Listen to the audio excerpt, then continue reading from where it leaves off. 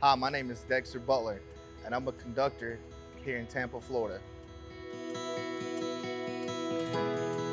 A typical day for me here at Yeoman Yard in Tampa, Florida as a conductor, I come in, I get my paperwork, see the loadout of my train, I go out, I build my train, and then we set off to work the industries that we have for the day.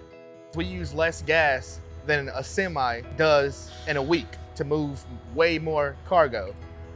And it's important to the community because it brings jobs. And my job personally is important to the company because no freight can move without a conductor.